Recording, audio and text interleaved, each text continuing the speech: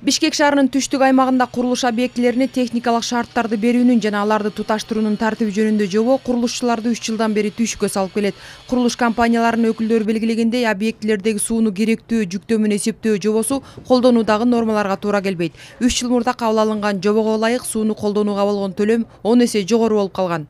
Эң негизи ошол южный зонада отуздан ашык э, курулуш компания үйлөр куруп келатат бирок деген ошол постановленияны э, бир э, адамга э, бир суткасына төрт жүз отуз литр тарифин коюп койду отуз беш миң бир кубун отуз беш миң деп койду да. Ошону караш э, чечип берсе аябай эле жакшы болмок. Анткени мына үч жыл болду үч жылдан бери айлабыз кетти. Мына эксплуатацияга үйлөрүбүздү бере албай атабыз. Үйлөрдү эксплуатация бергенде канча көп ошо салык налогтордун баарын төлөшүбүз керек. Ошонун баарын төлөгөнгө биз даярбыз. Өз кезегинде министрлер кабинетинин төрагасынын орун басары тармактык мамлекеттик органдарга түзүлгөн кырдаалды иликтеп чыгууну тапшырды жана салыктарды ак ниет төлөгөн ишкерлерди колдоого алуу мамлекеттик саясаттагы артыкчылыктуу багыттардын бири экендигин баса белгиледи иштей бериңиздер ишиңиздерди жасай бергиле бирок мыйзамдан четтебестен мыйзамдан чыкпастан өзүңөрдүн налогуңарды төлөгүлө иштей бергиле баягы кармушек кылып алган городской службалар бар биз аны билебиз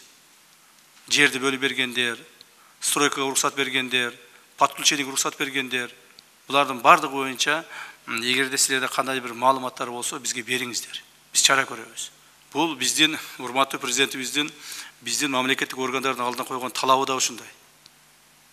Предпринимательдерге иштеп аткан адамдарга тоскоол болбостон жардам бергиле деген. Ушул тапта мамлекеттин негизги милдеттеринин бири курулуш тармагын өнүктүрүү бул тармакта эмгектенген ишкерлерге жеңилдетилген шарттарды түзүү. Себеби бул тармак мамлекеттин экономикасын өнүктүрүүнүн негизги локомотивдеринин бири. Бүгүнкү күндө курулуш тармагында бир топ алгылыктуу жумуштар болгону менен дагы эле чечилбеген маселелер арбын.